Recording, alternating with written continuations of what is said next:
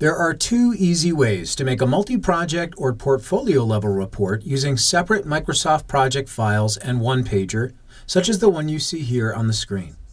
In this example, my separate project files are represented in my swim lanes, and then I have certain taskbar and milestone shapes collected into rows. All methods require a couple of items that must be set up properly within your separate source project files first prior to launching OnePager. The first is the Level 0 summary task, which is what OnePager uses to differentiate the data between your project files. To display this, you can open Project and click File, Options, Advanced, and then check the box to Show Project Summary Task. This value will now display as row 0. If any of these level 0 summary tasks match between your files, then you will need to change them to ensure that they're unique in order for this to work right. The second is your flag column selection. You must use the same flag column across all of your project files when you are creating a visual in OnePager, as you can only select one flag column in the OnePager Choices form. Once you have those two items set, launch OnePager and click New. The first method of creating a OnePager Gantt chart from multiple project files is only available in version 5.3 or later, and begins by clicking Add Remove in the Selected Files section of the OnePager choices form. Here, in the Data Source selection box, you will be able to navigate to each project file in your directory that you'd like to get data from in order to eventually create your visual. When your list is complete, click OK. The first time you try this, you must make sure to choose a multi-project template from your available templates which has a particular setting that allows OnePager to uniquely recognize data as coming from the separate files. Multi-project Gantt View Detailed is a good one to start with. Complete the OnePager Choices form with a title, task selection, and snapshot date, then click Create New Project View. At this time, OnePager will go get the data from the separate project files and render me the visual based on my data and the settings in the multi-project Gantt View detailed template that I had selected. The second method of creating a multi-project view involves a master project file in Microsoft Project. To create this, make a new project document, then navigate to the Project tab in Microsoft Project, where you will find this Sub-Project button on the left. When you click it, a Windows Explorer will pop prompting you to choose a file you'd like to embed into your new master. Once you have the subprojects in your master, you can then use that file to create a new project view in OnePager, as you would using any other project file. Let's move into the project view that I already created to talk about some other tips. At this point, everything in front of me is customizable, and I'm going to make some changes here to allow me to achieve the look and feel that I showed you initially. The first thing I'd like to modify is the organization of shapes in the rows, which I can do manually with dragging and dropping, but I prefer to let the software do it. Right now I have a very tall Gantt chart.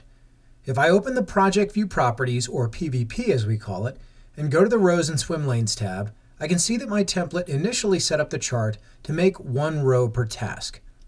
Since the width of the chart in OnePager is static, putting all of my shapes into their own row gave me a very tall chart because I had lots of tasks and milestone shapes. However, I know that I want to collect my tasks into a common row based on the values that I've entered into the text29 column in my project file. Let me jump back to project where you can see the values I placed into the text29 column. Basing your settings in OnePager off of common values in a text column is particularly helpful when your outline levels in your project files aren't consistent. Back in my PVP form, I need to make sure to choose the value for collect up to n tasks per row and dial that value up.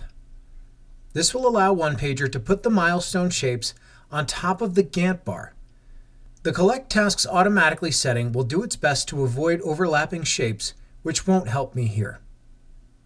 I'm also going to show row labels and make sure to choose the text29 column to drive display of those labels. This will turn on that second column in my chart next to the swim lanes to show my phase values. If I click OK at this point and close my PVP form, you can see the organization starting to take shape. But I've still got a couple more changes to make. My shapes are taking up a bit of room in my rows in terms of height, and I need to take that space back in order to put labels on the top or bottom of the shapes. So I'm going to go to my Taskbars tab of the PVP and change my Gantt bar height settings. Right now, my bars are set to be a percentage of row height, which means my bar height is based on my row height. I'm going to make my bar height absolute, or static, which means that no matter how tall I make my rows, my bars will remain the same in terms of height. My bars in the previous example were also a light gray, so I'm going to set it up so that my shapes are all light gray here. While I'm in this tab, I'm also going to turn off taskbar labels, which I don't need, percent complete, critical path segments, and baseline markers, all of which are unnecessary for this visual. Now I'll go over to the Milestones tab and make some of the same changes there, with the exception of height. I want my milestone shapes to be a bit larger than my taskbar shapes.